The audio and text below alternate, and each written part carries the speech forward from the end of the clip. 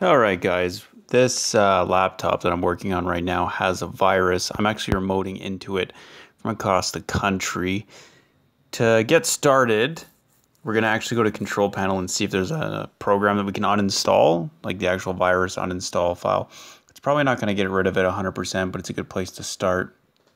So just head on over to uh, programs and features and then just start uninstalling stuff that you don't need or that um, is installed on a specific date. You can sort by date on the right there. If, I don't know if you can see it, but in this particular example, we're using uh, we're uninstalling Search and Protect, which is like a rogue antivirus like thing where it tries to get your credit card numbers and stuff and tell you you're infected here, infected there, when you're really not. You only have the um, Search and Protect to worry about.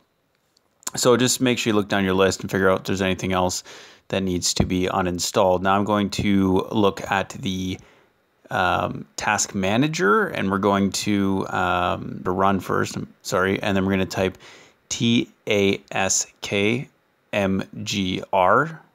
So task MGR, all one word, and that's going to bring up task manager. I guess you can hit control delete on your computer. I'm just uh, remoted in here. So under processes, we're actually going to go all the way down the line. This is everything that's currently running on your system right now. They should be fairly familiar. They should have um, company names and stuff like that on them. So if there isn't any company names or anything on it, end the task. Um, once you get that done, you want to hit up uh, CCleaner and uh, download it. Is free. I'll provide a link.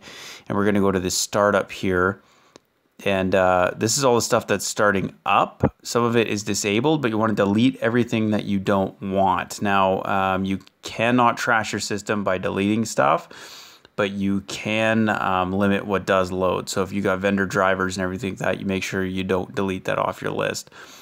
Um, just go down there. If you see anything that looks like your virus, delete it.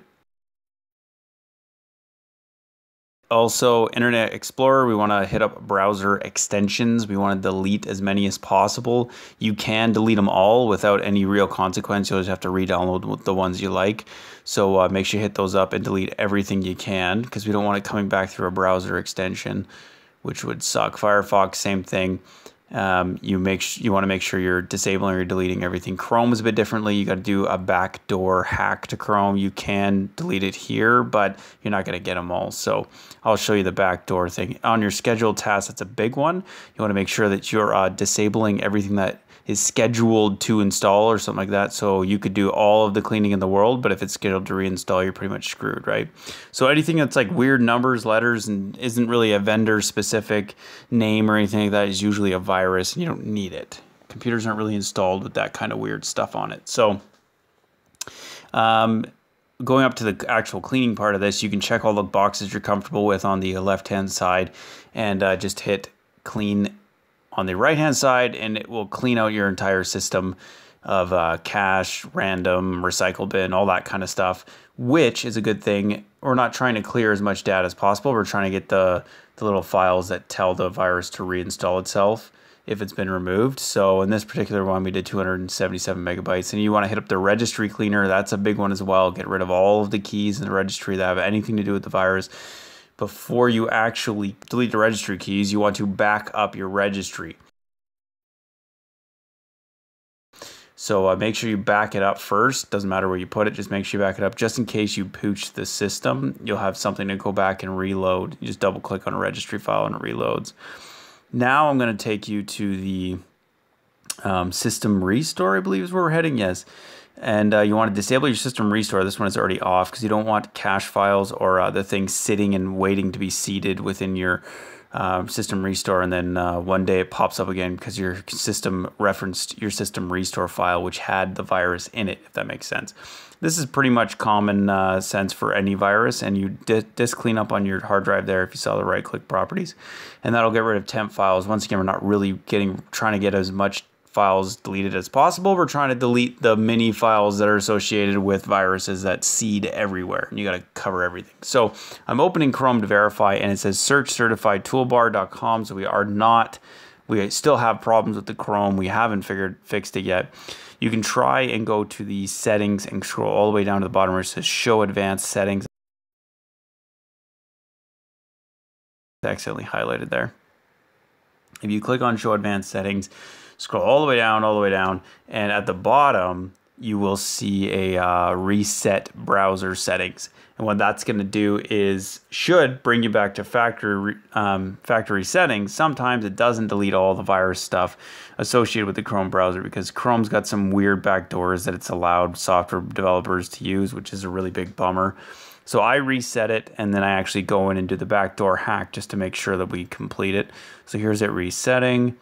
And then to do the backdoor hack, you actually just go into um, the, your C drive users, find your user, and then, oh, I just had a pop up here from that uh, disk cleanup utility that we started earlier. You just go through and check all the boxes and hit OK, and it'll clean up all the temp files as well. And getting back to the Chrome backdoor thing, I don't actually see the folder that I'm looking for. It's hidden. So I'm going to hit up control panel once again. And what that's going to do is allow me to unhide system files. Microsoft does this so you don't accidentally delete a bunch of system files. So you just hit up control panel, uh, view all icons,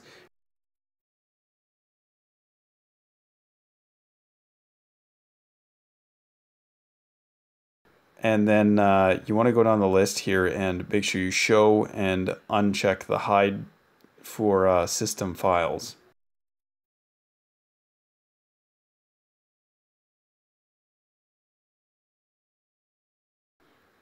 Okay, so now that we've done that, you see app data pops up now. Then you go to local, and then we want to head down to, I believe it's Google Chrome is the folder. There it is, Google.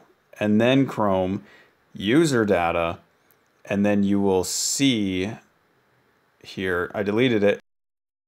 So this is just um, saying, hey, uh, looks like you're starting up Chrome for the first time. What do you want to do? Yada, yada. So that's a good sign that lets us know that the job is completed. And hey, look, now not every virus is going to be in the places I just showed. However, viruses nowadays are very clever. They like to seed in a lot of places. So you really have to cover all your bases. Or when you restart this thing, it's just going to be completely covered in viruses again. So make sure you do a restart after that. If you guys have anything to add, put it in the comments down below. This is by no means an exhaustive list. This did get rid of search and protect. And uh, we'll see you next time. Thank you for watching. Ciao.